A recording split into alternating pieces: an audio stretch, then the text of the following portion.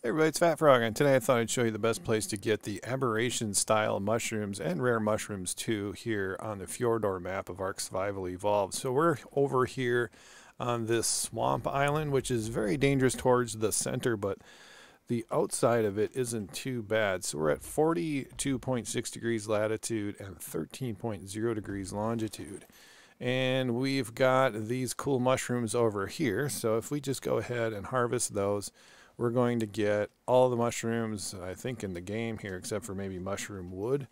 And we can also bring a Moschops along. So we've got all of them here. We've got the Aggeravic and the aquatic, the Ascerbic, and the Auric mushrooms. And we can always catch, catch, we can always harvest more with the Moschops. And we're getting rare mushrooms as well. So if you need those, for recipes, this is a great place to come and get those. So you can get them pretty darn quick and a little, quite a bit safer than going into some of the aberration caves here on Fjordur.